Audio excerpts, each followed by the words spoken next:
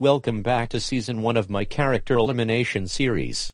Since the knockout killers lost, let's go to the elimination center. Okay everyone. I'm Ho Hokus, and I will be your prize hander. Let's start with prizes. Mario wins the prize for the third straight time, at 3 votes. Yes, three time in a row. What's my prize? You get a ticket to France. Now we can read the elimination votes. Squidward is safe with one vote. And Peppa Pig is eliminated with two votes. I know.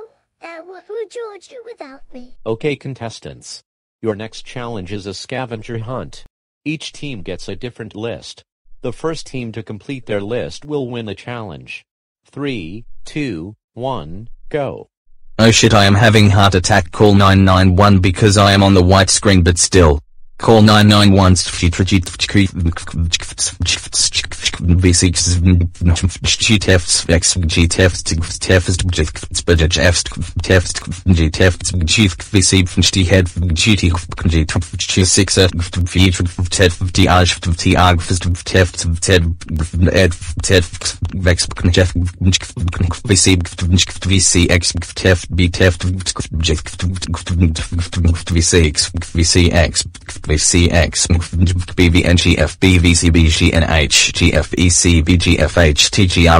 Everyone has finished.